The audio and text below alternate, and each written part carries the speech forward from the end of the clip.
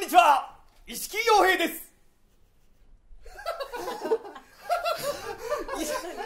何何が何何怖い怖い怖い怖い。ちょっと待って。梅棒のイマジンです。はいマジンです。そして？あ梅です。あ和樹さんです。嘘だろお前。嘘でしょ。言ってただけ分確かにそうかだそうだそうだ。そうだ僕がいけなかった。そうだそうだ。しろよじゃあどういうつもりだよこちらがえー、ピヨピヨレボリューションことイーストファイブの東梨沙です。イエーイ。そしてこちらがはいアップアップガールズかっこかりの古川小夏です。イエーイ。ということで始まりました。皆さん稽古中でございますけれども、梅棒の新作ということで、はい。今回お二人初参加ですけれども、ななんでグミと今俺今俺ガンガン質問してなんでなんで食べちゃいけないんだよ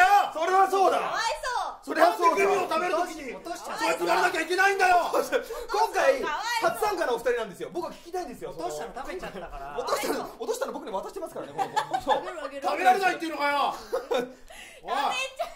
今回初参加も JJ さんに渡さなくていいから。いいからお仕事終わったんでちゃんと。今回初参加のお二人ですけども。だって見るのやめちゃうから。じゃあこっちからい。初参加ですけどもどうですか？今回の梅棒の衣装は？なんかみんなすごい仲良くワイワイやっててすごい楽しいですいやーそうなんですよね。もう全員で仲良くやらせてもらってますけども。りーちゃんどんな顔してるの？おい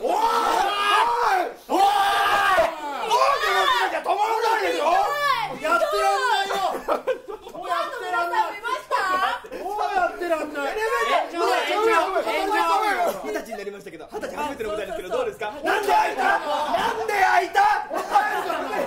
今回の新作新作の見どころは何ですか？新作の見どころで。リーチちょっと待って。二十歳と主催が会さあということで梅棒演出賞シャッター会ぜひぜひ見にいらしてください。お待ちしておりますえー、ということで、えー、まだまだコメントの方が続いておりますけれどもさあ、えー、書いてまいりまして。